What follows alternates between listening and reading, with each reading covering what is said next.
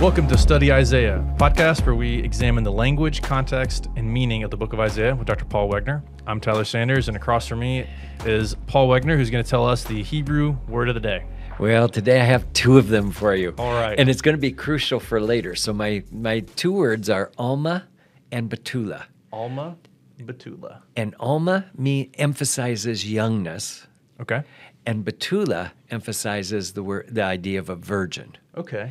And this is going to be interesting because they overlap some, right? Because you could have a young virgin, Sure. and that would fit both of them, or you could have an old virgin, and it would only fit the Betula side. Oh, I see. I see. Yeah, yeah, yeah. yeah. So Okay. that's where that overlap is, um, but they also have separate meanings. Now, when we're talking about this, are they going to be used in like a noun kind of form, or is it Yeah. this is adjective like we're describing? Uh, uh, well, they're nouns in Hebrew, but Okay. uh, they will be ex- describing the woman in chapter seven that Okay. we're going to be talking about, Okay. verse fourteen. Yeah, and um, actually, Betula is not there. Alma is the one that's there, and that's what's going to cause the issue later on when we talk about it. Okay. Okay. Yeah, So just wet your whistle I- now. yeah. well, and anyone who who did the homework yeah, yeah, that's true. and read Isaiah 7, Yeah. probably I've heard probably more sermons Ah. on Isaiah 6. yeah. You hear that a lot, I think, in our world. Uh, you know, missions, that kind of thing, you know, with Yeah. Isaiah's calling. Sure. I think we've probably heard more references to Isaiah 7, even though maybe the sermon hasn't been about that. Yeah. Because you probably hear a lot of sermons that come from Matthew. Yeah. And Matthew refers to Isaiah 7. Matthew 1, and Yeah. that's where we're going to get into some Yeah. some details here today. Yeah, this one this is a complicated chapter, but it's got such good stuff in it. Yeah. So I think I think you'll like it. Yeah. Okay, well let's let's look at the first section maybe. Okay, Um, well, can we first go back just to chapter 6 for a minute Oh, yeah, remember yeah. at the end those we had some dates that were really crucial. yes. And the the one was Isaiah's call Mm-hmm. at about 740. Probably the earliest thing we have in Isaiah. Yeah, now what I don't known thing. Yep. And what we don't have on here is a Syro-Ephraimite war.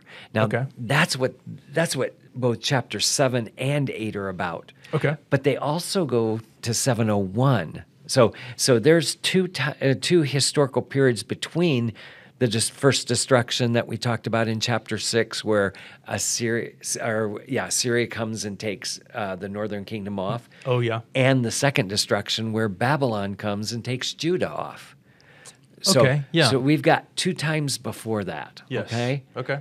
All right. So our, what we'll be talking about mostly this today is the Syro-Ephraimite War, mm-hmm. and let's let's go ahead and get into it. Yeah, let's do it. Um, so here's my my dates uh, about 734 uh, 33 through 732 um, it actually is a, about a two-year war um, so that'll give you some clue and basically what happened and oh and and all the information in chapter 7 is actually or the, the first part of 7 is before it okay so um, Okay. what what built up to the Syro-Ephraimite war was um, Syria. Uh, uh, you can see Damascus clear up there. Uh, Aram is another name for it, or Syria. Okay. So Syria is in Damascus. It's is, is Oh, its capital. Yeah, yeah, yeah. Very top right. Yeah. Yep. Then uh, th- they got together with Israel, the northern kingdom, Mm-hmm. and what happened is they joined forces to try to get Judah or King Ahaz to be on their side. Basically, what was happening is Assyria was coming across. They knew they knew they were coming. Um, they were getting scared, so they wanted to build a coalition on this side of all the people like the Philistines, Moabites, all of those get on their side to fight against the Assyrians because they knew they were a strong nation Yeah. and they wanted to stop them so they didn't come and overrun their country. Okay, so Syria, Yep. In order to protect itself from Assyria, Yep. Good. joined up with the northern kingdom, Yes. Israel, Good. which will also become known as Ephraim. Yep. In this passage, we'll, we'll be hearing that. And Aram would be Syria. Yes. Okay. Okay. They are teaming up to try to convince Judah, the southern kingdom, Yep. to join them. All three uh, will have a better chance withstanding Assyria, Exactly. the incoming Assyrian army. Yeah. Okay. Remember, we've talked about how strong Assyria was. Yeah. So these guys were afraid, you know, that they're coming Yeah. and they need help. Yeah. So they want everybody to be on their side. And Ahaz is a chicken. He doesn't want to do it. Yeah. Um, there was probably some uh, things in their history where um, I think it's Uzziah, his father, that that rebelled against Assyria and got in trouble. So I think Ahaz doesn't want to. Yeah, doesn't Yeah. want to get in more trouble. So Well, and this is the Syro Ephraimite War. yeah. So, they obviously don't get along very yeah, well. form a coalition here, right? yeah, yeah. It, it actually Oh, oh, doesn't work. yeah, so. right. All right. Now I think we know enough. So if we know that the date is about 733 to Mm-hmm. 732, what we're going to talk about is about a year before that. This would be before Assyria's come in. Yes. And, yeah. Yeah. knocked the the the Northern Ephraimite War starts when Assyria actually takes over and, and, and starts fighting them. Okay. Okay. So so all of this is kind of a prelude to that one. Yes. Yeah. All right, let's see what it says. Now it came about in the days of Ahaz, the son of Jotham, the son of Uzziah, king of Judah, that Rezin, the son of Aram, or I'm sorry, the king of Aram, and Pekah, the son of Remaliah. So you've got two kings, one from Aram or Syria, and the other one from Israel. Yes. Does that make sense? Yep. Okay, now Pekah is called the son of Remaliah. Yeah. And there's a good reason for that. Yeah. Because he's a usurper to the throne. He's actually not supposed to be there. He killed the king before him. Pekahiah is his name. He killed Pekahiah to be put on the throne. Okay. And so, so Isaiah keep. I, I think it's a jab. Yeah, so yeah. that every time he, he sees him, it, it, three times he calls him the son Yeah. of Remaliah, rather than uh, you know he doesn't call him the king. He calls him this. Well, he does say king of Israel, but he keeps calling him the son of Remaliah to remind you. He's not in the line. Yeah, and he's not supposed to be there. Interesting. Yeah. Oh, that's good. I had been wondering about that because it does come up, Yeah, Yeah. three times. So and it's. I mean, I, I didn't just didn't. I guess my question when I was reading it. I mean, there's a lot of names. This first nine yeah. verses has a lot of names that we're not necessarily familiar with. Right. And uh, uh, that one seemed like an odd. and why is an he extra thing, And you why does he say the son of Remaliah when it doesn't say anything about Rezin or Right. or Ahaz? It doesn't really call them their son of Exactly. somebody. Yeah. yeah. Yeah. Okay, that's interesting. He's a usurper. Yep. And so he makes it pretty clear. Yeah. All right. Um, the king of Israel went up against Jerusalem to wage war against it. Now remember, Ahaz is in uh, Jerusalem. The Southern Kingdom. Yeah. Yep. Okay. But could not conquer it. Mm-hmm. Okay. So I always thought that chapter or verse one is kind of a big summary.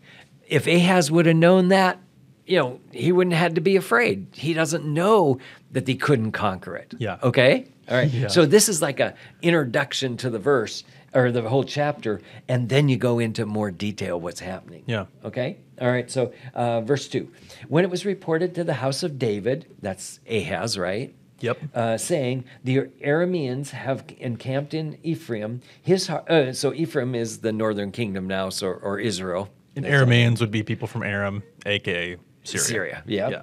Okay. Uh, his heart and the hearts of his people shook like the, the trees of the forest shake with the wind. Yeah. That's a beautiful picture, isn't It it? is, so yeah. you see those those Yeah. shimmering uh, leaves when the wind blows through it. Yeah.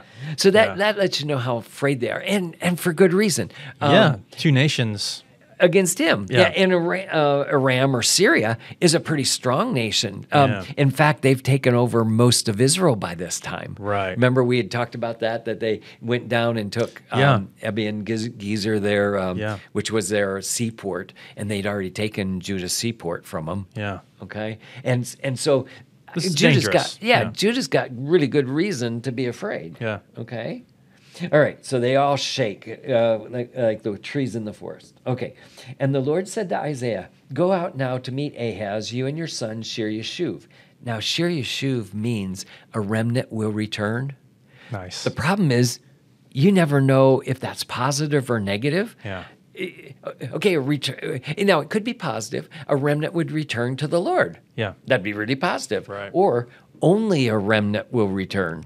So that means Most ooh, people are not gonna. Yeah. Yeah. Okay. So so we're never told, and it never it never does tell us why he's to bring Shir Yeshuv. Yeah. So it's interesting. It is interesting. Yeah. Okay. Um, at the end of the conduit of the upper pool on the highway to the Fuller's Field. What what would that be? A fuller's Okay. field. Okay. Um, he, Ahaz is out checking his water. So a fuller is somebody that cleans clothes. Uh, Hmm. Um, when I was growing up, there was a guy called the Fuller Brush Man who brought Oh. Brought brushes and stuff like that to clean your house, I guess. Yeah. but so it's a, it's a um, so that's where they went out to clean their clothes. Okay. And so when they they went out, he's going out to check and see if he's got enough water. Um, Yeah. so this is actually, uh, it, it, from what I can tell, it's up in the northern part of Jerusalem. Okay. So Jerusalem is uh, like uh, Mount um, Mount Zion is is Yeah. like where the temple is. He would be heading just a little further north to see w- how, his water is doing. Yeah. Okay. Okay. All right. Um, okay. On the highway to the okay, and say to him, "Take care and be calm. Have no fear. Do not be faint-hearted, because of the two stubs of smoldering firebrands, on account of the fierce anger of Rezin and, uh, and Aram and the and the son of Remaliah." Okay, let me just stop there and make sure we. So he's. This is the first thing. He, God is really gracious. He's gonna. He knows that Ah- Ahaz is scared to death.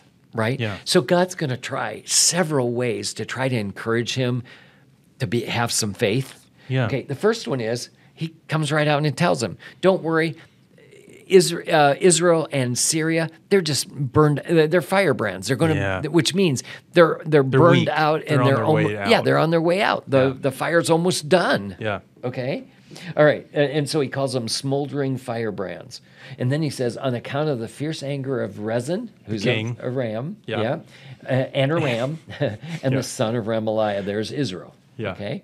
Because Aram with Ephraim and the son of Remaliah, so it's the third time he jabs him, Yeah. has planned evil against you, saying, Let us go up against Judah and terrorize it and make for ourselves a breach in its walls and set up the son of Tabeel in the, in the, as king in the midst of it. Now that's that's inter- we don't have any idea who the son of Tabeel. Tabeel is, Yeah. but his name means um, God is good. Um, but it's interesting in the Hebrew, it's, it says uh, is um, that he's not good. It, it, it's a, like a play on his name. Oh. So it's so in, so instead of the name God, they've got not Al. So so it's funny. So Ah. Yeah, so it's, right. it's like telling he's not good. So it's, Yeah. it's like a play on his name. Yeah. All Yeah. right. Okay. As king in the midst of it. Now we don't know who this is, but it makes sense. What what uh, they wanted to do is they wanted to have somebody on their side, right? Yeah. They're gonna set up like a puppet. Yeah, yeah. Who will who will do Now whatever they all say? Three of us will be exactly their- together. yeah. We And have to kind of take care of the king because he's he's not, Ahaz is not going to work with us. Yeah. Yeah. Okay, that's interesting. Okay. So does that all make sense? Yeah, that's their plot basically. Yep. Okay. Um, Thus says the Lord uh, God, it shall not stand, nor shall it come to pass. So that's the second thing God did. So Yeah. He told them it's they're just firebrands. Then He says, "Don't worry, the thing that they want to do is not going to happen." Yeah. Okay. Um, for the head of Aram is Damascus, and the head of Damascus is Rezin. Now, uh, oh, we'll come back to this middle phrase. Okay. Um, um, then, and the head of Ephraim is uh, Samaria, and the head of Samaria is the son of Remaliah. Mm-hmm. So let's go to this next um, PowerPoint here. And do you see? I call it a circumlocution. And and so what's happening? I don't know if you can see my see my arrow. No, you can't actually. All right. So Syria is the country. Uh-huh. Damascus is the capital, and Rezin is in charge of that. So Yeah. basically, what's happening is is Ahaz was afraid of the countries, uh, uh, Samaria or uh, Syria uh, and and Ephraim. Ephraim, and and really what God's saying is, don't worry about two countries, just worry about two men, Yeah. Rezin and Pekah. And if I can't take care of two men, then I'm in Yeah. trouble. So, so I think this is the third thing that God's doing to try to encourage him. Yeah. Okay. So Syria to Damascus, its capital, then to Rezin, the head of Damascus, and then Ephraim is Israel, another name for it. Samaria is its capital, and Mm-hmm. then Pekah is the head of of is uh, you know the capital. Yeah. Does that make sense? So Yeah, totally, yeah. And so so basically he's he's, He's shrinking trying to- down the threat Yeah, yeah. He's trying to get his mind off the countries down Yeah. to two people. Yeah. Okay. Yeah. All right. So so that one actually is that like the third thing that he's now done. Yeah. Okay. Now there is a little problem in between, and I skipped it at a minute, but I want Yeah, you to that see it now. parenthetical statement. Yeah. Now, uh, does your Bible have it in parentheses? Mine does, yeah. Okay. NASB, yeah, and got it. some of them have it in uh, maybe um, like commas or something. yeah, or- brackets or something. Um, there's a reason for that. That phrase does not make sense here. Like Ahaz is worried about what's going to happen tomorrow, right? Yeah. He's not, you know, because he's. It said right at the beginning that he's sit that that, that Syria is sitting on Ephraim's border. It means he's ready to come down. Yeah. So Ahaz cares what's going to happen then, not what's going to happen in 65 years. Right. So why would they say now in another 65 years Ephraim will be shattered so there's no longer a people? Because it's not even going to be 65 years. It's going to be Right. um, uh, Israel is going to be uh, taken off to captivity in 722. Right. Well, that's like 10 years later. Yeah. So why does 65? Well, in actual fact, 65 years later, a guy named uh, Esarhaddon comes through again and takes more people from Ephraim or Israel. And. Yeah. we know that because um, actually uh, Ezra actually talks about it. Okay. It talks about people that have come during the time of Esarhaddon's reign. And that's actually 65 years later. Interesting. So it here's what I think happened, and this is going to sound funny, but um, I think that what happened is that a, a copyist coming through saw that uh, knew that 60 uh, you know saw that verse Yeah. and knew that it happened again 65 years later so i think actually he probably put it in the margin and and Hmm. out on the side and then just kept going and in the in the copying process at some point it seems to be in. inco- incorporated into the text Okay. now, the reason I argue that way is because, first of all, it doesn't make any sense in its context. You and know, just the flow there. Yeah, yeah. So why would it be there? But it is true. So I want to make sure everybody knows it is. It is a true statement that really did happen. Yeah. So how come it's in the middle here when it doesn't make sense? Yeah. And I think what happened is, remember the the text has been copied for.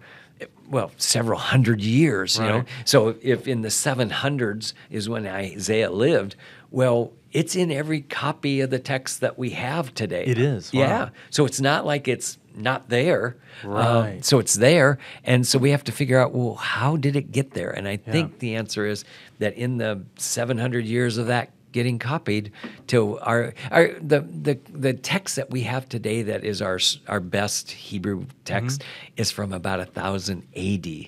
So that's Oh, sure. yeah, so that text was copied a long time, but Yeah. we know that in the Septuagint it was there at about 150 BC. Okay. So it's it's in there, and and we just it must have been is somehow incorporated in the text at that point. What uh, have you read any other theories about how that is Um, in there? Most people don't have a clue, and and, and Hmm. even even mine is a guess. Yeah, yeah, yeah. But but you know, I, I've got it from other scholars who are actually argue that's probably what happened. Yeah, Hmm. okay. yeah. That's fascinating. Yeah. Uh, eh, eh, eh, liberal scholars or, or people that want to uh, attack the text will often come to this passage and say, well, look here, you've got a problem here.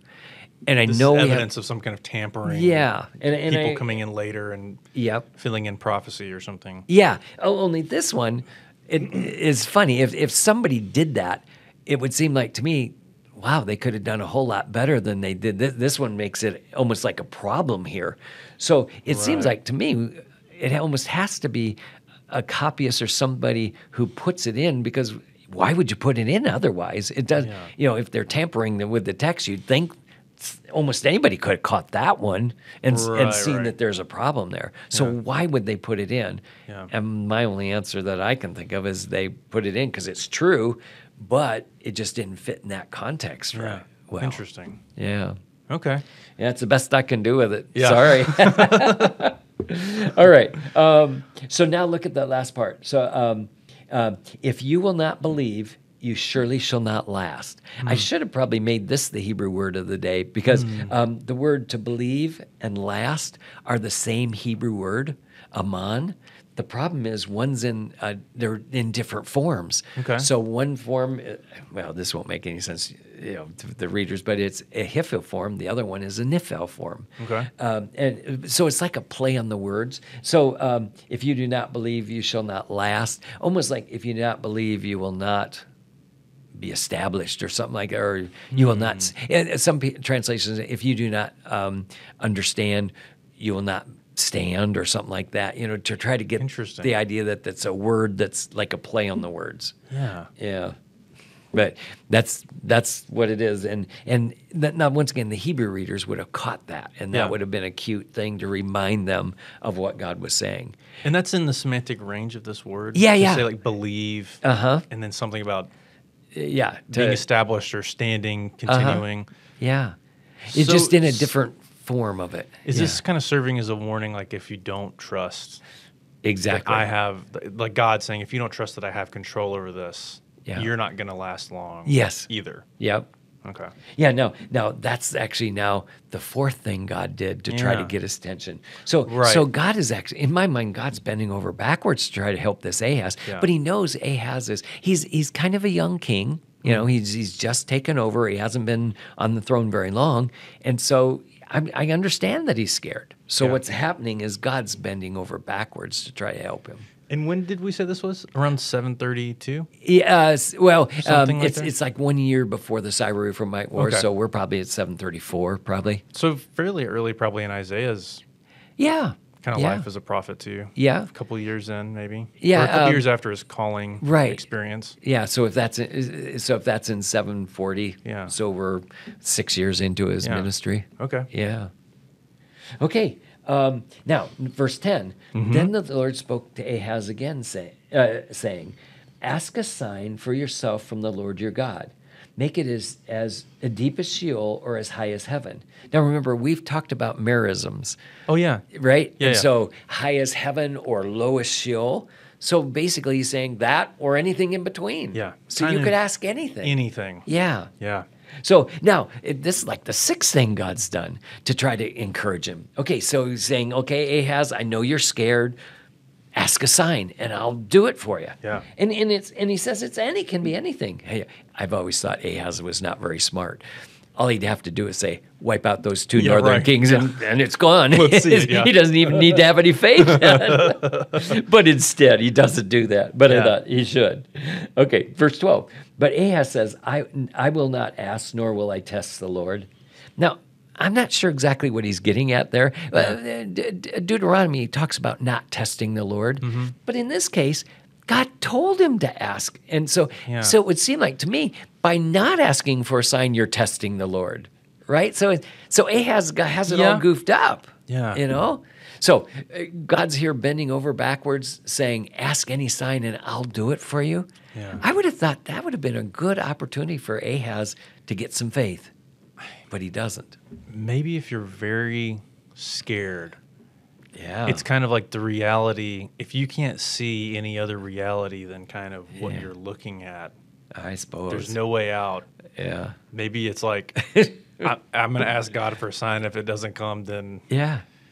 th- everything, like my whole worldview is going to shatter or Eh, something. well, maybe. I don't have any idea what's going on that's here. interesting. I would have thought that he would have done that. Yeah. then he said, Listen now, O house of David. So now, uh, remember, Ahaz is the king, or is the king. So he's the head of the house Yeah. of David. Um, but it sounds like it's more broad, right, to the house of David. Right. Is it too slight a thing for you to try the patience of men that you will try the patience of my God as well? Now, this is Ahaz, or I mean Isaiah talking, isn't it? Because he's talking to Ahaz. Yeah. Now, it's interesting. Um, we don't know exactly what it means to try the patience of men, but I'll bet what was going on is that Ahaz could not make up his mind what Mm. he was going to do. So he's got these these guys sitting on his northern border, and he can't figure out what he's supposed to do. So I think that's what It's not Isaiah enough to says be it. indecisive. Yeah, Yeah. yeah. So I think Isaiah is saying, "Well, man, you Yeah. know, make a decision here. You're going to Yeah. push it even further. Yeah. Okay, so you're going to try the patience of my God as well. Therefore, the Lord Himself will give you a sign. So now, instead of a sign that Ahaz is asking for, God's going to give him one. Yeah. So you can probably think it's not necessarily all going to be really happy for Ahaz, right? Hmm. Yeah. So auto- automatically, you probably figure something's going to happen here. Yeah. Well, the sign actually is both positive and negative. I'm going to go all the way down to verse 17 Okay. so that you can see that it's positive. Okay, so here's what it says Behold, a virgin will be with child and bear a son. She will call his name Emmanuel. He will eat curds and honey at the time he knows enough to refuse evil and choose good. For before the boy will know enough to refuse evil and choose good, the land whose two kings you dread will be forsaken. The Lord will bring on you and your people and your father's house such days that have never come since the day that Ephraim separated from Judah, the king of Assyria. Now, let's let's answer that one first, because that's actually the easier thing. The verse 17 thing. Yeah, yeah. Okay. When it says, okay, um, what was the day that Ephraim separated from Judah? Do you remember that there was a point where uh, in Solomon's reign where the two nations split? Oh yeah, yeah, yeah. yeah. So so we actually we date that about nine uh, nine uh, thirty one somewhere in there. Okay. Or you know, I actually dated at nine thirty one. Others dated at different times. Yeah. Okay. but something close to 200 years yeah. previous. Yeah. So what you've got is you've got a split in them. Now, in in God's mind, that's the worst thing that could have happened. Then his his hmm. basically his nation fell apart. Yeah. Okay. So it's saying that there's there there's gonna this this thing that's gonna come on you now is gonna be worse than that division of my of my people. Okay. And then he says, the king of Assyria. So that last phrase there, the king of Assyria, that's the answer. Yeah, that's the answer. What Yeah. what is going to be Yes. worse? Yes. Yeah. Okay. That was a little tough for me to understand, I think, reading through. Yeah. That was, uh, Yep. I wasn't as, as clear of, uh, I mean, some things are a little bit easier to pick up on. I, Yeah. I was wondering about that. Yeah. Well, in the way it's written makes it a little hard, but but it's it's at the end of the day, the worst thing that could have happened is the king of Assyria is coming. Yeah. And that's worse than anything that's happened so far. And Right. and, and basically the And division of of a king. and- God's will. Like, this is, the yeah. king of Assyria is basically going to be yeah. God's rod, I think is how we Yeah, yeah, saw yeah. earlier, We'll see that later, won't Or we? later. Yeah, later, Yeah. yeah. we already talked about it, but it's later in this yeah. section. Yeah. Okay, does that make sense? Yeah. So that's verse 17. Yeah. Now let's go back to verse 14. Yeah. Okay. Um, and and literally, it says, okay, the Lord will bring on you, uh, will give you a sign. First of all, you need to know that the Hebrew word for sign doesn't necessarily mean it has to be miraculous. Um, th- th- There's one sign in, in I think it's in in, in Exodus where it says that um, when when uh, Moses comes back from yeah, I think it's Moses. Or no, it might be Abraham. When Abraham, pa- no, it's Moses. Sorry. When Moses passes this this mountain, um, uh, and it gives it gives uh, something that's going to happen. He, that he, at least it says he's going to pass this mountain again. Yeah. Well, of course, he, you know he's going to go in and out, um, Hmm. bringing the people. First, he goes back to get the people of Israel, and then he Yeah.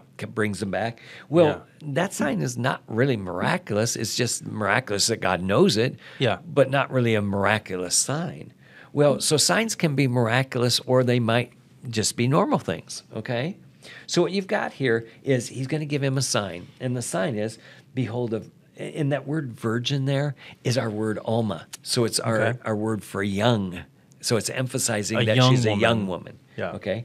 Uh, a young woman will be with child. When it says "be with child," that's actually s- literally says she's pregnant. Hmm. Now, i- that ought to be a hint already that, that the word can't be virgin because it, it's an adjective. It means she's already pregnant. Right. She's it, it, an adjective usually means she's in the state of pregnancy. Okay. So so already we know she can't be a virgin. At least what we usually think of a, a virgin to right. be. Okay. Right, right. All right. So it's a young woman will will uh, be pregnant and bear a son. Uh, and actually, that's more the Hebrew is and about to bear a son because the uh, Hebrew can show immi- um, imminent action. Hmm. Okay. And that's this participle is probably imminent action. The bearing a son part. Uh huh. And and about to. so we're thinking son. of very pregnant. Yeah, yeah. Yeah. Yeah. All right. And she will call his name Emmanuel.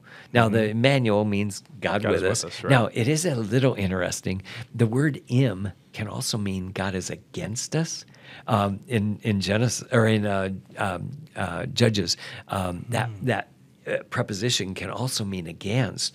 So it's it might be a little play on the words. Um, You know, if Ahaz doesn't get on board here, God's going to be against them. Yeah. But but I'll go with uh, in New Testament tells us that it that God Yeah, yeah. Uh, God is with us. So I I think probably um, that's what the name is actually getting at. Yeah. Okay. But I just wanted you to know it can actually have both nuances, and so it's kind of. Uh, I think it, the Hebrew reader would have thought, "Oh, that's interesting."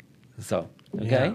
Now, do you remember we talked about a chiasm earlier? Yep. Now we've got one. Here's Oh, here's okay. our clear chiasm, and Yeah. let me just show you. Oh, there it is. Okay.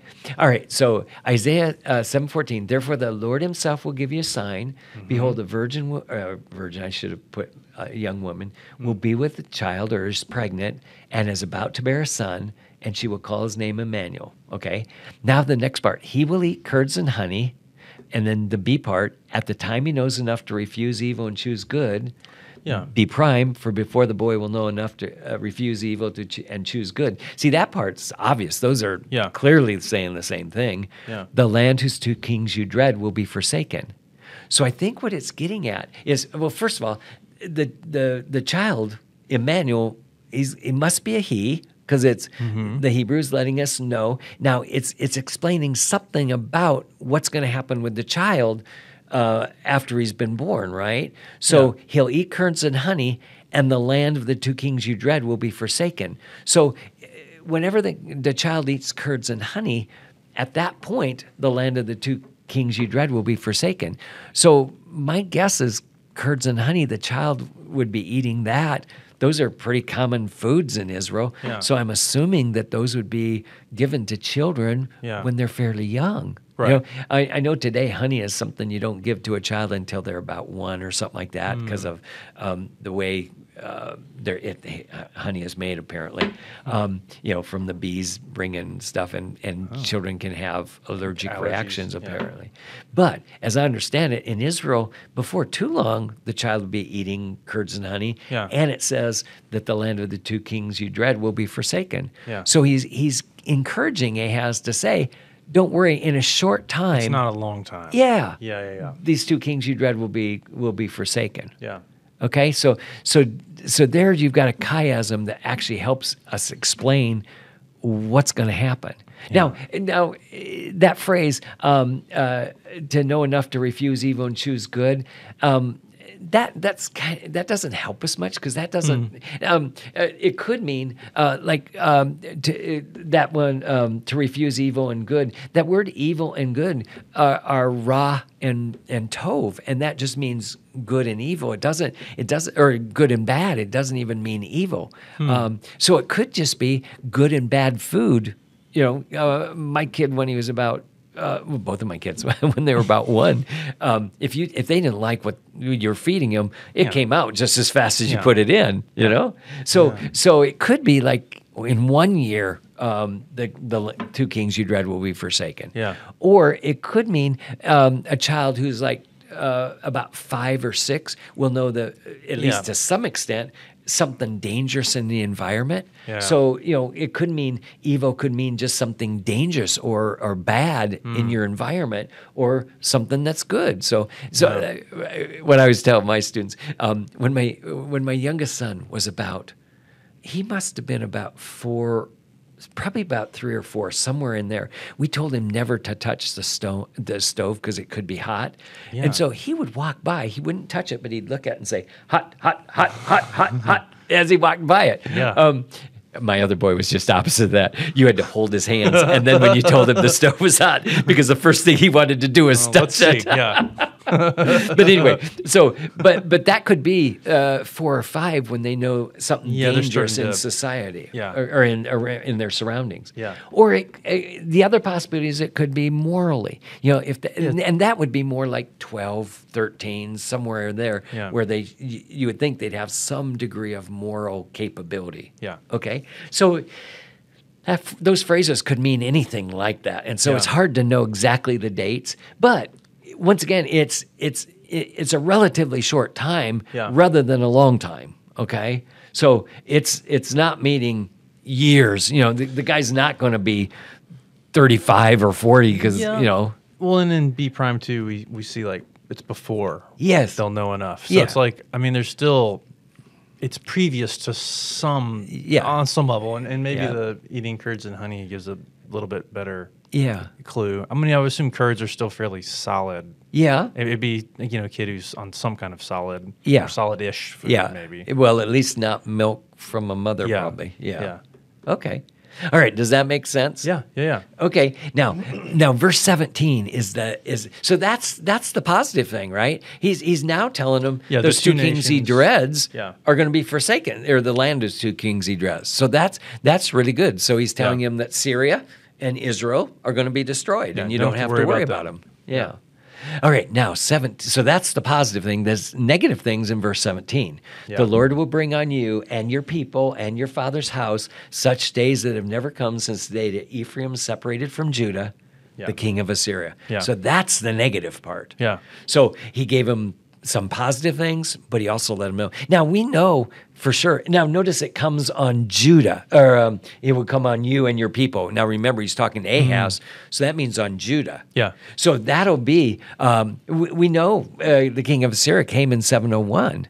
Okay, Yeah. so that gives us some help. Um, uh, the uh, so that means that everything above that probably took place in the Syro Ephraimite War, Mm-hmm. and at least uh, the two kings you dread could go all the way to 722, right? Because Yeah. Israel. So in uh, Syria was taken away, and, and and probably the army of Israel was taken away in the Syro Ephraimite War, because that's basically what happened. Mm-hmm. Yeah. Damascus got destroyed, and their army and Israel's army got taken away. Yeah.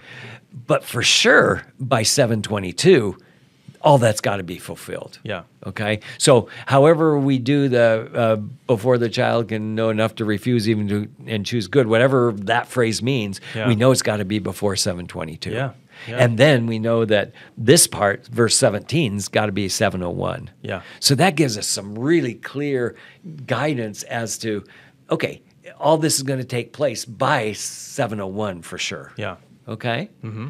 So now remember, the sign, the, the miraculous part of the sign probably is that God knows it. I mean, He knows He's going to have a son also. I mean, this child hasn't been born yet, but Okay. God knows He's got is going to be a son. Yeah. And He knows about He's going to eat curds and honey and stuff like that. So, so He gives him what I would think is a brilliant explanation of what's going to happen in the next couple of years for Ahaz. Mm-hmm.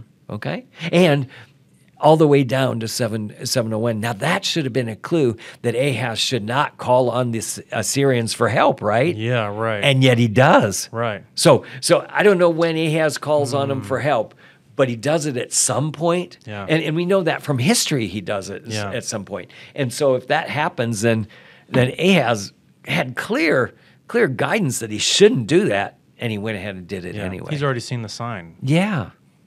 All right. Does that make sense? Yeah.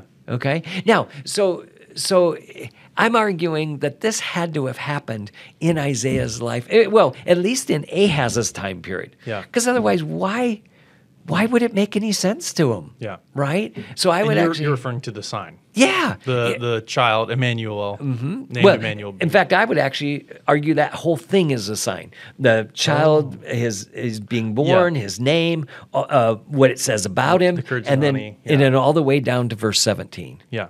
Now, let me just show you the reason I, I go that far on the sign itself. Hmm. Because look at verse 18. In that day, the Lord will uh, whistle for a fly. So, so it's saying, in the day that these things happen, Mm-hmm.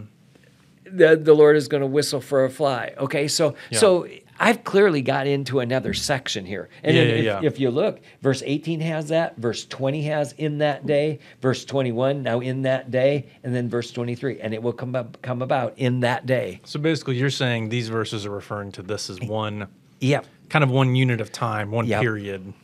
and that every one of them it, if, if we wanted to see where the units are it, it certainly looks like it goes all the way to 17 and Hmm. Yeah. then there's a break at verse 18 Yeah. okay the reason i even bring that up is because i've seen s- scholars break it at 16 and i i don't think that's fair i think it should go i think it should go all the way to verse 17 Yeah. and then you've got these in that day oracles Yeah. okay Okay. And now, and that's important. Yeah. You're saying this happens in the time of Ahaz, mm-hmm. and that's a little tricky potentially. What you mean when we get to the New Yeah, Testament? when we get to Matthew, right? should we go to Matthew now or should we wait till the end? Which do you want to do? Let's do it right now. Oh, We're in it. All right. We're in it. I All mean, right. after we finish this, we'll get into the 18 Yeah. to 25, right? Uh, yep. yeah. okay. Let's get into Matthew. Okay, go to Matthew chapter 1. Let me start in verse 20. Maybe 20. All right. But when he had suggested this, um, uh, it was um, they were he was going to put her away secretly. Yeah. Okay. And and and when uh, he had considered this, behold, an angel of the Lord appeared to him in a dream, saying, Joseph, son of David, do not be afraid to take Mary as your wife, for the child who has been conceived in her is of the Holy Spirit. She will bear a son, and you will call his name Jesus, for he will save his people from their sins. So that actually lets you know Jesus means salvation, and so Yeah. that's that. Okay, that's how they'll know. Okay, now, now all this took place to fulfill what was spoken by the Lord through the prophet. Behold, a virgin will be with child and bear a son, and they will call his name Emmanuel, which translated means God with us. Now wait a minute, didn't I already? s- ta- We talked about in chapter seven of Isaiah that all that was fulfilled by 701 for sure, Right. And probably earlier, Right. So how can it be here referring to Jesus? Yeah. because it just it doesn't make sense to me. How can the child be assigned to Ahaz at this time, and all this? And it says he will eat curds and honey, and the land whose two kings you dread will be forsaken. And then it says, and and I'm going to bring on a king of Assyria, and we already know when those historical time frames are. So how can this say that this refers to Jesus? Yeah. That's a good question. That's a really good question. well, it, it's it's a good question, and just as a as an aside, we actually had you when I was a student. We invited you to speak about this. In in the title of your your uh, you spoke at a little club meeting we had for some students, but the title of your presentation I think was "Are there two virgin births yeah. in the Bible?" Yeah. because that really encapsulates The this problem. issue, I think, you know, Yeah. because there's a question I think of how Matthew is referring to this, Yeah. and and saying Jesus is fulfilling this, Yeah. but also if if we just don't think about it, then we're kind of saying, well, it's happened twice. It sounds So like what makes it so Yeah. special that it's happening exactly to Jesus if it already happened once? And, and we got to know that, right? I mean, we got to Yeah. know there's only one virgin birth. I mean, that Yeah. that's we, we know Jesus is unique. He's the Yeah. God man. So so there's really there's got to this has to be a problem to Yeah. think that there's there's a virgin birth in the Old Testament. Right. And so either you've got to argue either that passage really does refer to Jesus and it didn't make any sense to Ahaz. They've just been waiting. Yeah, and it, and I don't see how Ahaz that would have made any sense to him. And certainly the eating curds and honey and the 2 kings you dread w- the Mm-hmm. Yeah, land. those be- details were Yeah, that's ser- certainly got to be back in Ahaz's time. So this was this is actually the problem that I tried to solve in my dissertation. Oh. yeah. So so that's where it all started. Yeah. So here's here's my answer, at least what I think is the answer. Um, you should just say your answer is go read my dissertation. I yeah, that, that's right. That'll be the easiest way, right? Oh, I just skipped. Oh, I did it. Hang on. Let me see if I can fix this. Okay. Yeah, sorry. all right. Okay. Uh, I usually, well, first of all, the word is fulfilled. And when In we, Matthew. Yeah. and it's the word, the Greek word plerao. And when we think of fulfilled, we usually think of the Old Testament passage refers to this passage. But the word fulfill can can also mean just to fill up. Um, like like it's, it's Physically speaking. Yeah, in the New Testament, plerao can often mean to fill up a jug with Mm. water or wine. Um, remember uh, at the wedding of Canaan? Um, Oh, yeah. He tells the um, um, uh, the servant or whatever to go get a, a jug and fill it with water. Well, Yeah. that's what this word is. So it can have a gen- very general word uh, meaning to fill up, and that's what I argue it means here. Yeah. So it's so it says that um, that Old Testament passage is now being filled up with Jesus also being God with us and come through. So it's Yeah. it's not saying that this refers. Or well, it's not saying that this is a fulfillment of that, meaning Right. that that passage means this. Yeah, yeah. What I argue it means, it means that that Old Testament passage has been filled up with more meaning by Jesus. And, Right. and it can use that word Emmanuel, God with us. Because in, in, in some sense, there's, uh, in every sense, Jesus is the ultimate fulfillment of Emmanuel, God with us, right? That yeah, God that, is that's a whole new meaning. Yeah. of that word for sure. and, uh, and I I argue these are capped off, meaning there's no more uh, meaning that can be added to them. When when when you've got Jesus being God with us, there's nobody that can Yeah. be more God with us than Jesus. So Right. so I would actually at some point these prophecies get capped off. Now. First of all, I've got to give you some evidence to show you Yeah, yeah. what I'm saying.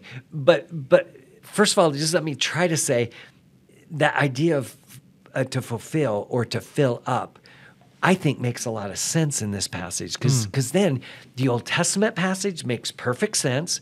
Yeah. What he's do, I, I call it a prophetic pattern, and what I mean by that, he's created a pattern back in the Old Testament, which now he is going to fill up with more meaning, and it's going to be capped off by Jesus being Right. God with us. Right. Is is what I'm arguing. Okay. And and it and and there, uh, remember I told you that the word Alma back in the Old Testament Mm-hmm. meant young woman. A young woman is gonna is pregnant and about to have a, a child. Yeah. This one is using the uh, now it's um, in in Matthew. yeah in Matthew it's using the word Parthenos, which which usually in the New Testament means virgin. Yeah. Now, um, there is a little, I actually argue that the word Parthenos has gone through a development um, because in the Septuagint, Dinah is called a Parthenos even after she was raped. We usually don't consider uh, a woman who's been raped as a, a virgin, Sure. right? So, so I think what's happened is that the word changed in meaning. It's modified its meaning. Now we do that. Um, one of them that has changed its meaning significantly is gay. You know, a hundred years ago, it just meant happy or Right, something right. like that. Yeah. Well, it totally means something different now. Right. Uh, another one that that's changed its meaning is um, in, if you read the King James, you've probably heard, um, and the two will cleave together. Mm. And yet, when we, th- you know, that's thinking about the Genesis passage. Yeah. and, you know, but when we think of cleave, we To usually think of a meat Yeah. cleaver that Right, yeah. splits it apart. Yeah. So, so that word has once again changed 180 degrees. It meant this thing now it almost means something opposite. Yeah. So uh, words change in meaning in usage, and I think that this is one of the cases in it, it, it. Same in Greek and Hebrew when those were live languages, they actually changed in meaning as they went along. So what I'm arguing is that the word play, uh, the word Parthenos, started off meaning a young woman, pretty much. Then it's developed into Hmm. More clearly specific. yeah, a virgin. Right. And and there's no doubt that um, that Jesus was born of a virgin. I mean, Yeah. the whole context says, why would he ever put her away if? Yeah, if, right. You know, so so Joseph knows she's a virgin, or I mean, Yeah. understands the word virgin. Yeah. Um, uh, and in verse 25 has it again, and kept her a virgin until she gave birth to a son. Well, what would that mean if it's not Yeah. what we think it means? Yeah. Yeah. So so I want to just make sure you know the word Parthenos. Cha- I think developed in meaning, but then at, at a certain time it gets frozen and and we understand that it means a virgin. And, it, and, And the- then- all the context we have in Matthew seems to Yeah. reflect that. and Luke also. the. Luke Yeah. also. Yeah. So both of them make that pretty clear Yeah. that she's a virgin. Yeah. Yeah. And then, but then the other word that's even more important for what we're doing Yeah. is that word to fill or to fill up, or it's our word plerao, Yeah. the Greek word. Yeah. Yeah. Now, now let me give you some of the other evidence that's Yeah. there. Okay, so there's a there. It seems like Matthew is one of them that does this a lot. Hmm. Um, so let's let's go to um, chapter two. Let's let's start at verse fourteen. Okay. So it says, so Joseph got into uh, got up and took the child and his mother while it was still night and uh, and left for Egypt. Okay, the, remember the angel told him to go, and so Yeah. that's that context. All right, and he remained there until the death of Herod. This was to fulfill what had been spoken by the Lord through the prophet. Out of Egypt I called my son. So we still got that word plerao. Yep. Okay, and then out of Egypt I called my son. Well, if you go go ahead and go to uh, Hosea 11:1. And, and this is where the quote comes from. So go ahead and read it. When Israel was a youth, I left him, and out of Egypt I called my son. That's pretty clear, right? It's talking about Israel. Yeah. So I had teachers that would argue, well, um, uh, Jesus was in the loins of Israel when it came out of Egypt. And I, eh, okay, maybe that's possible, but I don't think that's what it's getting at. I think Right. what it's saying is that this passage is to fill it up with more meaning. Right. So that one was fine. Israel was brought out of Egypt uh, in the Exodus, but here he's saying when um, when Jesus went to Egypt, now at, when he came back, it was to fill it up with more meaning. Out of Egypt, I called my son. Yeah. I'm thinking of another passage. I think it's in Matthew. Okay, let's see if I, Jonah. And, uh, you know, that says Jesus will be down for three days like, like Yeah. Jonah was, yeah, which is another kind of very specific reference. yeah. It's, I, I, guess I don't know if it's saying it's fulfilled in the same kind um, of way, it- you know? Well, it didn't say that that one is a fulfillment of it. okay, yeah, that's- yeah, yeah. that's why I don't Oh, that's just like a saying kind of more like it's Yeah. metaphorical. Yeah, yeah. In the same way, kind of. Mm-hmm. Okay, yeah, yeah. All right, let me show you some more. Okay, Yeah. so that's one that seems pretty clear to me. Yeah. Okay. Now let's let's go again. The next one is in verse 18, but let's build up to it again. Okay. So let's start at 16.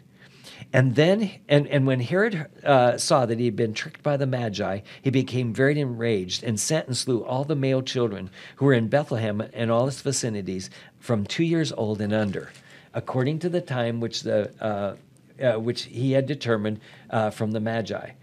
Uh, then it had been spoken through Jeremiah the prophet was fulfilled. Um, then that which was spoken uh, through Jeremiah the prophet was fulfilled. A voice was heard in Ramah, weeping in great mourning, Rachel weeping for her children, and she refused to be comforted because they were no more. Well, I have a problem here. First of all, it's it's Jeremiah. It's talking about Ramah, not Bethlehem. So why hmm. why does it pull a completely different you know time out and and and Rachel weeping for her children? Okay, okay. What's this mean? Well, remember in Jeremiah's time, what was happening is that the people were being taken off in captivity, right? Because that's in Jeremiah. Yeah. Jeremiah is about 600, and so it's talking about the uh, exodus or the exile, Exile. from yeah, into Babylon, remember? And when they did, they went to a, a place called Ramah. It was a holding place where before they went all the way over to Babylon, they would keep them there and get them in groups and then send them over. Well, so when this uh, this passage is saying, here's Rachel weeping for her, this is to fulfill what was said uh, by Jeremiah. Uh, a voice was heard in Ramah, uh, weeping in great mourning. Well, well she's, uh, you know, Rachel weeping for her children. That would be the Israelites because they're being taken off into captivity. Yeah. Well, how does that? How does how does um, our passage here? How does this? You know, when they kill all the babies in Bethlehem, uh, how does that fulfill what's happening here? Well, it, it it's not a this for that kind of thing. What it Yeah. is, it means to fill it up with more meaning. Yeah. So we've got a we've got a a, a prophecy here that's become, become what I call a prophetic pattern that then is filled up with more meaning by the New Testament context Yeah. and what happened there. Yeah. Okay, does that make sense? Yeah. Yeah. Okay. Yeah. So that's two of them I've tried to show you. There's Mm-hmm. a there's a third one, and it's it's a little harder. Those those two I think are the clearest. Yeah. Um, right at the end, there's a, a verse 23 uses that word fulfilled again. Mm-hmm. Um, all right. Um, he was. Uh, it's, it says that Archelaus was reigning in Judah uh, in place of his father, so he's afraid to go there. Okay. Then, after being warned by God in a dream, he left for the regions of Galilee, and he, and he came and lived in a city called Nazareth. This was to fulfill what was spoken through the prophets. He will be called a Nazarene. Now. You can go through the prophets and you'll never find a place where the Messiah or Jesus is supposed to be called a Nazarene. So it's just not there. Yeah. But I believe what it is is it's a play on words. If you go to Isaiah chapter 11, he said it says that a nezer is going to uh, sprout up and and um uh, come. Well, it, it says he's going to sprout up and, and become. And, and in chapter eleven, it sounds like it's the Messiah. So Okay. he's springing up, and he's gonna he's gonna have the belt of truth around him and all that Mm. kind of stuff. So so what is this getting at? Well, it seems like to me it's a play on the word nezer. Uh, Which usually means branch or sprout or Hmm. Oh, something like that. yeah, yeah. So it's a play on the words. Once once again, the Hebrew mindset would have caught that and saw that Nezer Nazarene was a play on the words. Yeah. We miss it because we Yeah, yeah. we don't know that branch or sprout means nezer. right. You know, is the Hebrew word nezer. So I think that's what's going on on there. And once again, it's to fill it up with more meaning. Right. Now there's there's three passages right in our context that helps us, I think, understand that word play plerao better. Yeah. Now, it seems like to me, if I'm going to really prove this to you, that I better show you a place when they where they don't do it. Right? Sure, yeah. Okay. So if we go to chapter two and we start at verse four, okay, gathering Of Matthew. Matthew yeah, I'm sorry, Matthew two, yep, four. Gathering together the uh, uh, chief priests and scribes of the people, uh, uh, yeah, scribes of the people, he inquired of them where the Messiah was to be born. And they said to him, In Bethlehem of Judea, for this is what has been written by the prophet. Notice our word plerao isn't there. Yeah. And and then it says, And you, Bethlehem, land of Judea, are by no means least among the leaders of Judah. Out of you shall come forth a ruler who shall shepherd my people Israel. I think that's a direct fulfillment.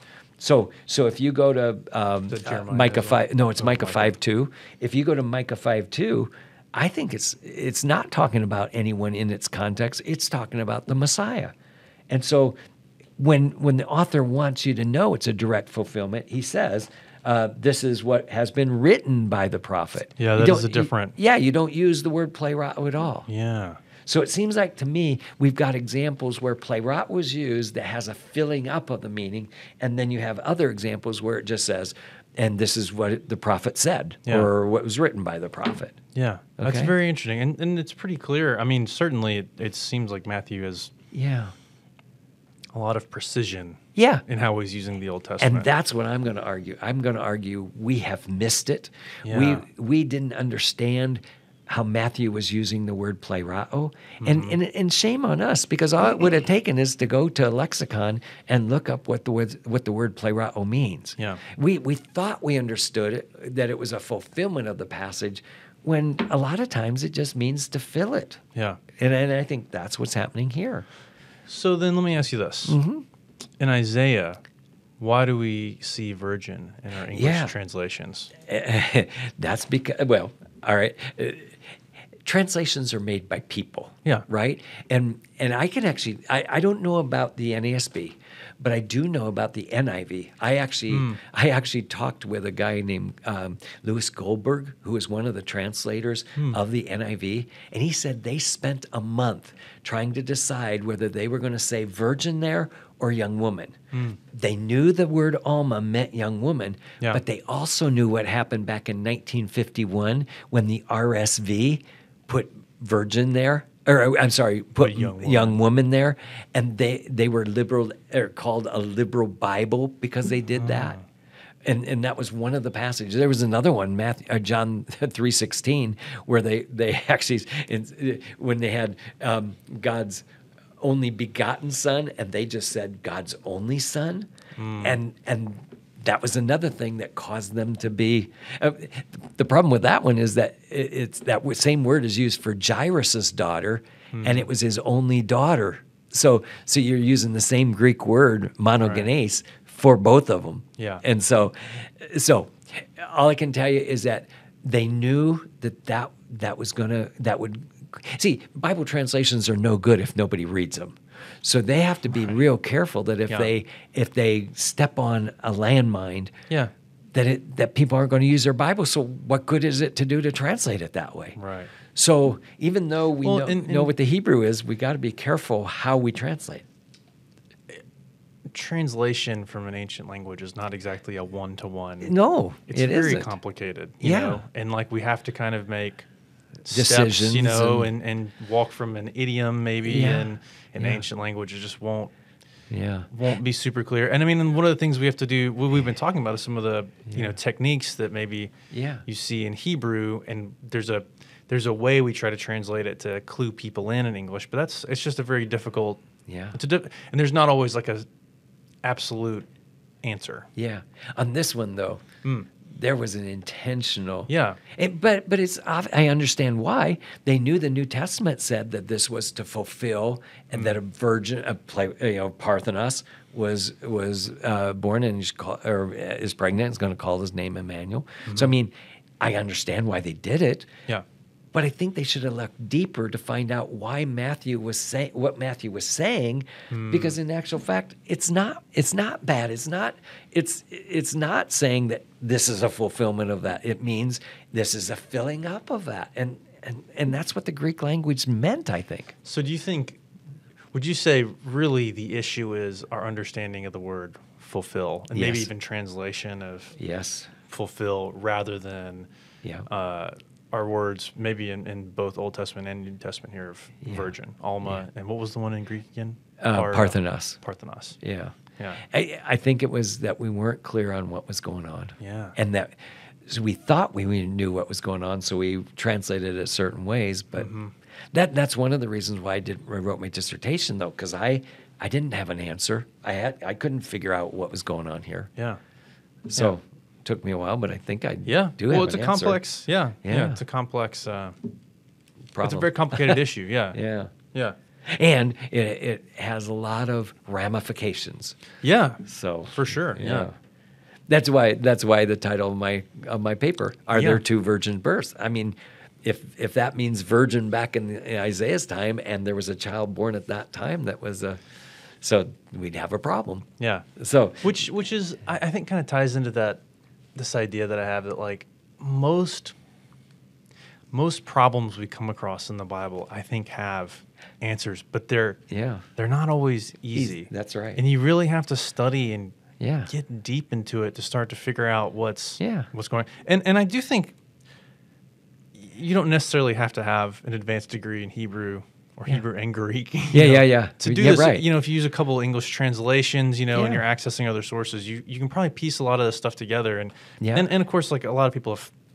A lot of people have thought about this and tried to ad- Yeah. address these issues and come up with different, you know, Yeah. different answers to see how it all fits together. You know, Yeah. it's Yeah. a very serious, you know, very serious study. Yeah. Yeah. and it took me a long time to Yeah, figure it out. I'm So- sure. yeah, yeah. So I, I certainly can't knock them. oh. Well, should we go? Does that all make sense? Or I we- think so. Yeah, Okay. I, I think that's uh, yeah, that works out pretty well for me. All right. Should we go back to our passage in Isaiah? yeah, 7? let's go back. Let's go back to Isaiah 7. A few more verses we need to talk about. Mm-hmm. So we've talked about verse 14 through 17. Those ones, in my mind, are crucial to understanding that it actually was fulfilled at that time. Yeah, Okay? Mm-hmm. That it actually made sense to Ahaz. All right? and then we follow that up with Yeah, those- in that day. Yeah, and we've got four of them. I think that's kind of interesting to help us. All right. So, verse 18 In that day, the Lord will whistle for a fly that is in the remotest parts of the river of Egypt. So, he's calling from, now, he's going to call a, a fly and a bee. And a fly is less irritating, probably, th- or dangerous than a bee. Yeah. Um, but I'll bet it means uh, more like a horsefly that bites. Yeah. So, so, so it still is irritating. Yeah. Okay. All right. But notice it's from Egypt and for the bee that is in the land of Assyria. So we're he's talking about two countries coming together. Well, when did Egypt and Assyria come? It came they came in 701 and they hmm. came and filled the land. So when it said in that day, it's talking about the day that the king of Assyria is coming.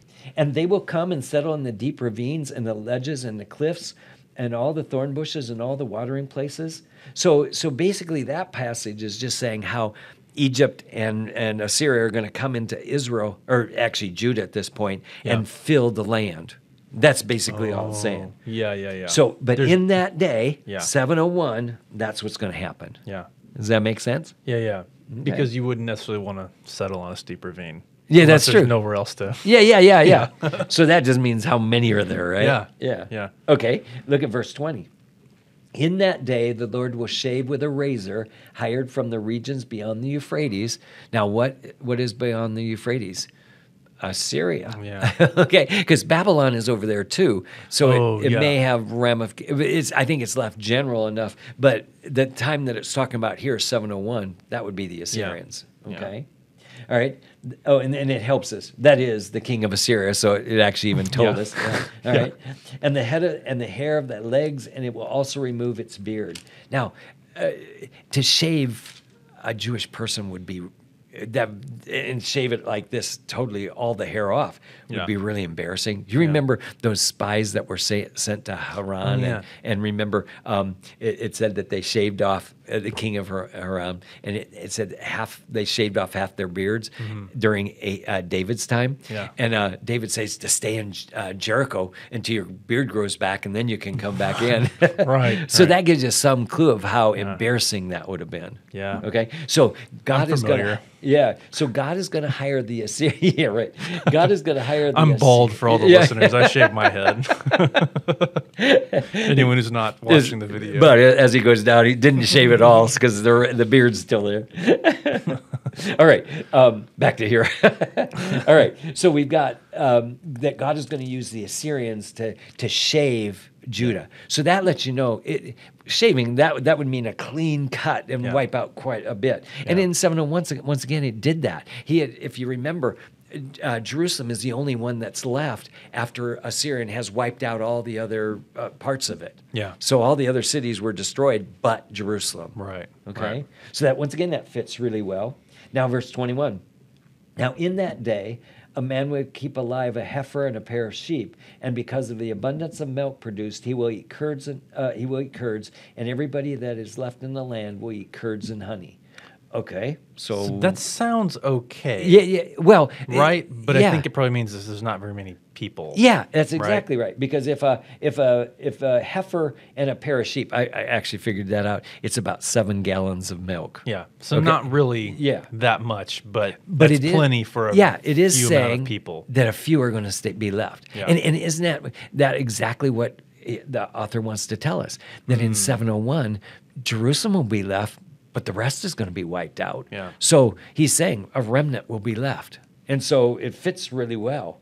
Um, so everybody that is left, and, and notice it twice. It makes you, sure you know that. Uh, first, uh, it is only a heifer and a pair of sheep, so that's not very many. Yeah. Right. But then it says uh, everyone that is left within the land. So that makes it sound like something happened. Yeah. Then now we only got a few left. All right. Okay.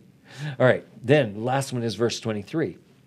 And it will come about in that day that every place where there used to be a thousand vines, valued at a thousand shekels of silver, will become briars and thorns.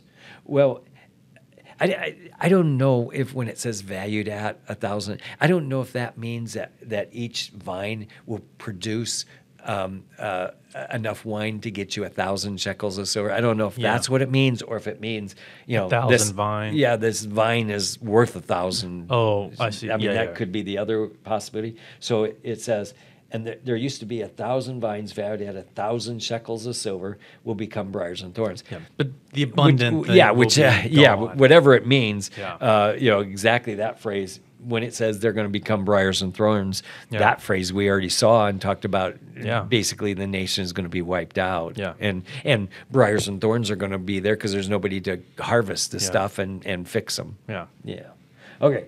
People will come with bows and, and, and arrows uh, because all the land will be briars and thorns. The second thing, so it's it's basically just going to revert back to wildlife so Yeah. that they can go hunt animals there. Oh, I see. Yeah. And okay, and as for the hills which used to be cultivated with the hoe, there will, uh, they will not go there for fears of briars and thorns. you just keep getting that phrase, briars and thorns, again to let you know the land is wasted. Yeah. Okay, but they will become a place for pasturing oxen and for sheep to trample. So basically, useless land or pasture land. Yeah. Okay. Yeah. So so we just had three pictures of what it's going to be like in, In that, that day, day. That is 701. Yeah. Okay. Now, does that all make sense? So we we just got to the end of a very complicated chapter. Yeah. Yeah, I think so. I mean, it seems to fit in too. It's like it doesn't seem like pure desolation in this last section, but it is kind of the people are gone. Yeah, You yeah. know, maybe the I don't know if we'd say the idea of the nation, but certainly as it was, as like a people with a Yeah. place, you know, that's kind of that period is over for a while. Yeah. Um, Now, remember in 701, um, that's still not the uh, time they're going into Babylon in captivity. Right. So, so the nation will be destroyed, Hmm. left for a while as briars and thorns, but it will spring back. I mean, it, Yeah. it does come back anyway. Yeah. Yeah. Until Yeah. And- now, let's just, let's just summarize once again. So, what we Okay. talked about, we talked about the Syro-Ephraimite War, where Yeah. the northern kingdom, Israel, and Syria, the kingdom just north of that, come down against Judah. Mm-hmm. Okay, uh, King Ahaz is there. He's scared. He's scared to death. Him and his people are scared. Yeah. So, you know why? Yeah. Um, and because they, he doesn't want to join with their coalition to fight against the Assyrians. Yeah. Okay. So so that's the context, and then later we're going to have the Syro-Ephraimite War, and that actually starts when Syria, when Assyria. Well, actually, I, I didn't even tell you this, but Ahaz at some point calls upon the Assyrians to come over and wipe out. Uh, Damascus. So he actually pays them off. It says uh, in the historical books. So he, he he pays them money to come across, and he and heads to Damascus. That's why at a certain point these people must have taken off. Um, you know, because they never do fight against Jerusalem, and, and Yeah. it's probably because they hear the Assyrians are coming against Damascus. So- it'd be silly to stay down here. We're saying Syrian army comes down into Ephraim. Uh huh. Then they're kind of right on the border Yep. of Judah. Okay. And then Emmanuel, right? The child is born. Okay. And then the armies disperse or they leave, right? That's the sign to Ahaz. Yeah. And you're kind of saying the historical context around that is probably Assyria has come in from the north. Yes. So the armies had to go. Yeah. And Ahaz asked for that. Yes. Because that's interesting. That's He's not even pays necessarily in here, you know? Yeah, right. You don't see it here. Um, there is a part, passage in Second Kings that actually talks about Yeah. him paying them to come over and destroy them. And I guess most of the context here really we're seeing is Isaiah talking to Ahaz. Right. Saying, Yeah. don't be afraid. Did you notice how God was so gracious to Ahaz? Hmm. He knew he was afraid, but he gave him like six different things to Yeah. help build his courage, and he still Yeah. calls on the Assyrians. Right. Right. Yeah. Even when he asked him to do a sign, ask a sign from whatever you want, and I'll do it. This is the only time that I know that God asks a person to ask him to have a sign. Yeah. And man, that's amazing. Yeah. That's God bending over backwards. It makes it even funnier, really, that he's like, "No, I can't do that. Yeah. You said not to do." You know, Yeah, like, yeah. like, but God saying, Yeah. you know, like he's he's kind of, and he's being disobedient. Yeah. Right there, you know. Yeah. If God ever asks you if you want to have a Yeah, you better take it. Yeah. yeah. Especially if there's a merism involved. yeah, yeah. Like there that, you you, know, from the bottom to the top, Yeah. ask anything, you know. yeah. Well, does the passage make some sense? I think so. Yeah. So we get through that, and then we come to the end. This last section is basically describing what the end of that sign is. Yeah. Right. The sign is going to happen Yeah. in probably around 701. Yeah. Um, we know the king of Assyria is coming in, and this is what the state of the world is going to be. Their world is going Yeah. to be essentially Yeah. um, when that comes through. Yeah, I think that makes sense to me. Okay. It's complicated. It is. It's Yeah. a tough passage, but it's a rich one. I mean, if you ask me, hmm. and then to see how the New Testament uses it. Yeah. In my mind, what that's doing then is they're they're taking passages from the Old Testament and they make what I call a prophetic pattern out of them, and then fill them with more meaning. Hmm. That's that's kind of interesting. You don't see that very many times in the Bible. So Yeah. so you've got a Matthew using that word plerao to fill these these passages that had already happened Yeah. with even more meaning. And I think that's I think that's neat. I think that could be preached really well too. Yeah. So Yeah, it's a yeah. That's a cool idea. So, have you ever preached through the book of Isaiah? no, not the whole thing. Or, like, It'd sections of it? Yeah, I've done of parts of it. Yeah. Is that kind of how you step into Yeah. Talking about Christ, maybe? Yeah, yeah, Yeah. You can do that. Uh, seven is good. Uh, you know, almost everybody's preached on chapter six, right? Yeah. yeah. I've done that. Yeah. But but seven, I think, would be a good one to Yeah. to get them.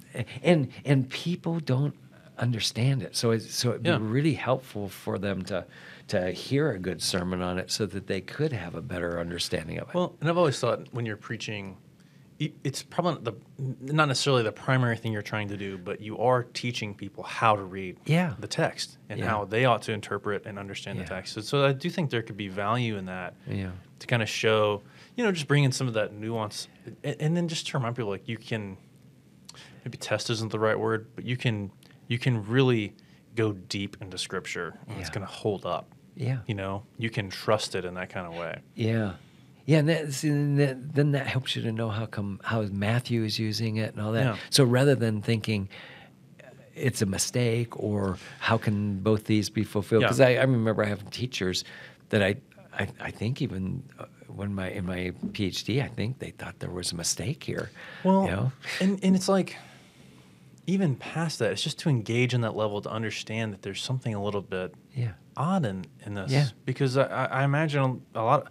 I, I'll speak from my own experience. Yeah. I don't think I had ever really considered it.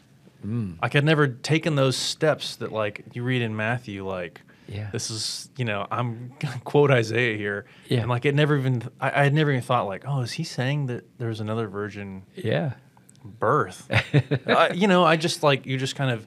I, I guess I was reading at such a shallow or kind of surface level. I just went right past it. Oh yeah, yeah, Isaiah must have said this. Yeah. Like just some like this thing's gonna happen one day, you guys, and Yeah. uh, I'll just, just write it down, I guess. And, Yeah. You know, someone someone will figure it out. But it's you know there was there was a meaning and context yeah, uh, of the Old Testament, you know, and specifically in this this chapter that that totally would have made sense to the people who were who were reading it and who read it between, you know, Isaiah saying it and Yeah. Jesus being born. You know, I, I probably need to to be fair. I need to also tell you there are others that have tried to figure out different ways that it's. Hmm.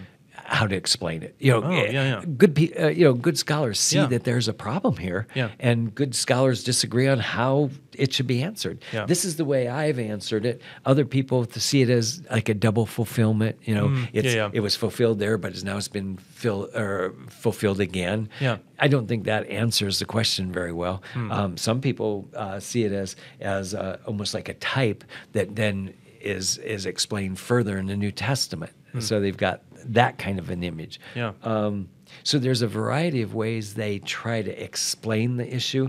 Yeah. Um, this is what I've done, and this is what I think makes the most sense to me. yeah, yeah. So.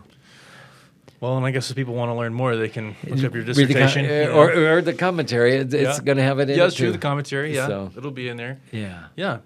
Well, uh, we did cover a lot today, and Yeah. I think, if I'm thinking about this correctly, we have chapter eight next Yes. uh, for our next episode.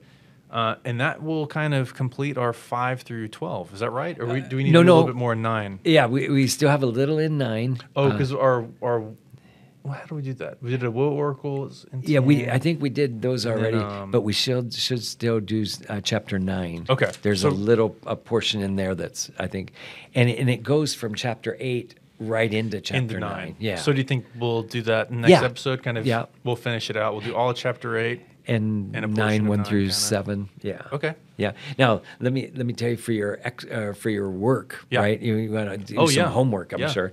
So read chapter 8 and the beg- and right into chapter nine. Okay. And then um, let me just give you a hint. I'm going to argue that chapters eight is is going to go over the same material we just went over, only Okay. now uh, in a different way. And I actually argue it's even closer than it was then, because this time it says that um, uh, before before he knows the difference between good and bad, or whatever that means, that phrase. Uh, in chapter eight, it says before he can say mommy and daddy. Oh. And mommy and daddy, kids Yeah, can usually say that a year old. Yeah. So it seems like to me this second sign here that we're going to talk about is even closer to Okay. it. So Okay. So maybe. Yeah. Definitely read eight in the beginning of nine. Yeah. Maybe also go ahead and read seven again. Yeah, As part of that, kind of see how these things yeah. are going to be then just- related. yeah, just remind yourself that Syro-Ephraimite war that, Yeah. that now is the context for both of these signs. Yeah. Yeah. Okay. Well, that's good. I think that's great. Uh, that's good work. Uh, until we're all back together again on the next episode. Okay. Uh, again, thank you to everybody, and uh, we'll see you or hear you, or you'll hear us, I guess, Yeah. next time as we uh, continue to study Isaiah.